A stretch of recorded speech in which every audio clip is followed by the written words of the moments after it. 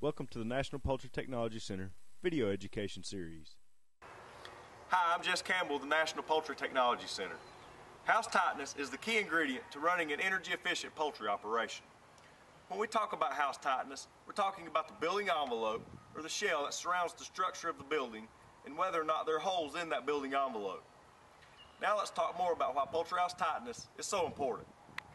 When the building is in heating or brooding mode, we only want heat to leave the building through the fans during a scheduled ventilation mode. Heat lost through building air leaks causes the heating system to run excessively and waste fuel. These leaks also allow cold, unconditioned outside air to enter the building freely and can cause chilling of the birds, non uniform floor temperatures, and poor litter conditions. Negative pressure ventilation allows us to effectively bring air into the building in a controlled manner. This means that we can manage the amount or volume of the air, the speed of the air, and the location of the air to achieve our ventilation goals. The industry standard method for testing house tightness is to close the building up, turn on 1 CFM of fan power per square foot of floor space.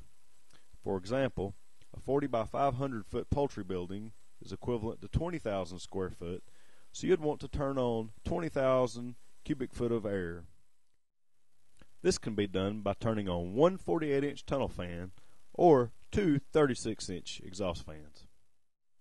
With 1 CFM of fan power per square foot of floor space turned on, we'll measure the pressure on the building with a differential pressure gauge. To measure the pressure, the high pressure side of the differential pressure gauge goes outside of the building. The low pressure side, directly attached to the gauge, will remain on the interior of the building.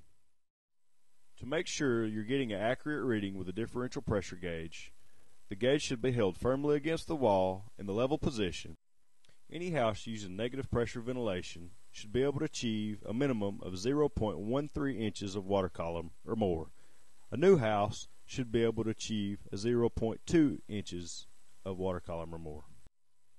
Any negative pressure ventilated poultry house that cannot achieve and maintain a 0.13 inches of water column or more should take the necessary steps of sealing the building to reach that goal. Smoke testing the house while it's still in the negative pressure mode will help you identify and locate areas where air is leaking into the building. Common places for air to leak into the building are around man doors and end wall doors, tunnel inlet and sidewall curtains, perimeter vents or attic vents, exhaust fan louvers, holes in the ceiling, and the joint between the concrete foundation and the lumber wall. Thank you for your time. For more information, please visit our website, poultryhouse.com.